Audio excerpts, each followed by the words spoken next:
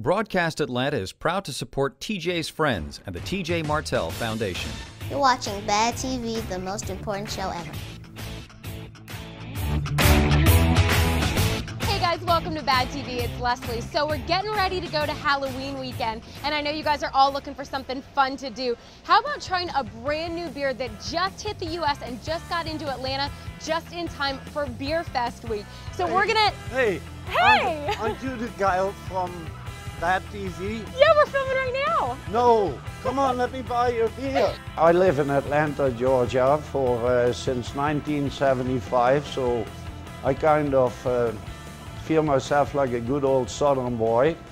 And uh, so it is uh, very logic that Atlanta is the first market. The uniqueness of this product is uh, very simple.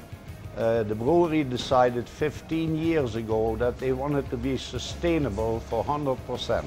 So they made deals with the farmers around the brewery and uh, they are growing all the ingredients. Everything what goes into the beer is grown right there at the brewery. And the soil there is uh, giving the hops a little sweet taste to it, which you can taste into the beer. A lot of beers, a lot of pilsners, if you drink them, you get a really strong hop flavor, and then five seconds later it's gone. Uh, this stays with you in your mouth and it develops a really pleasant feeling. The craft beer business in the United States is growing every year. And uh, there are not that many Pilsners on the market. And this is a craft beer because they uh, only brew 150,000 hectoliters a year. So it is a really true craft beer. Cheers.